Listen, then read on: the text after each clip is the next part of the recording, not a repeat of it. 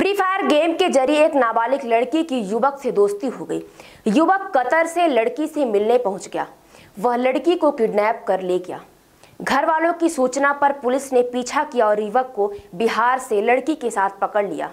मामला दौसा ज़िले के बांदी कुई का है। दरअसल बच्ची की ऑनलाइन गेम के चलते दोस्ती कतर में बैठे 25 साल की इजराइल से हो गई। दोनों के बीच ऑनलाइन गेम के ज़रिए हुई पहचान का फ़ायदा उठाकर युवक लड़की को लेने कतर से दिल्ली आ गया। सिम चेंज की, फिर लड़की को बांदी कुई से किडनैप कर अपने साथ बिहार ले गया। प्लान था नेपाल भागने का, लेकिन पुलिस ने पहले ही दबोच लिया।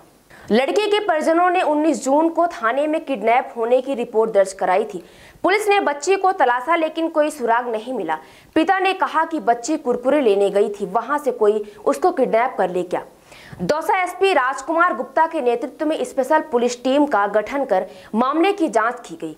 पुलिस ने जाँच शुरू की तो पता चला कि बच्ची ऑनलाइन गेम फ्री फायर खेला करती थी। जिस दिन वह किडनैप हुई, उस दिन उसकी बातचीत संदिग्ध इंस्टाग्राम आईडी के साथ हुई। ये आईडी कतर की थी, लेकिन भारत में एक्टिव मिली।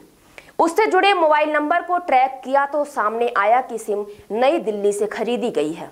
इसकी लोकेशन के आधार पर पता चला कि वह नंबर बांदी कुई में एक्टिव हुआ। फिर ट्रेन के ज़रिए दिल्ली व बिहार रूट पर एक्टिव नज़र आया। यानी दिल्ली से आकर बांदी कुई से लड़की को उठाया गया और ट्रेन से दिल्ली होकर बिहार ले जाया गया। पुलिस की एक टीम को बिहार के लिए रवाना किया गया, जहाँ दरभंगा से लड़की और आरोपी युवक को बस स्टैंड से पकड़ लिया गया। युवक लड़की को नेपाल के रास्ते कतर ले जाने की फिराक में था। एसपी राजकुमार गुप्ता ने बताया कि 25 साल का इजराइल नाम का आरोपी नेपाल का है, कतर में मजदूरी करता है। 18 जून को कतर से फ़्लाइट के ज़रिए इजराइल दिल्ली आया था। 19 जून को वह लड़की का माइंड वॉश कर ट्रेन से दिल्ली ले गया। आरोपी को सात दिन के रिमांड पर लिया गया है। पुलिस इजराइल से पूछताछ कर रही है।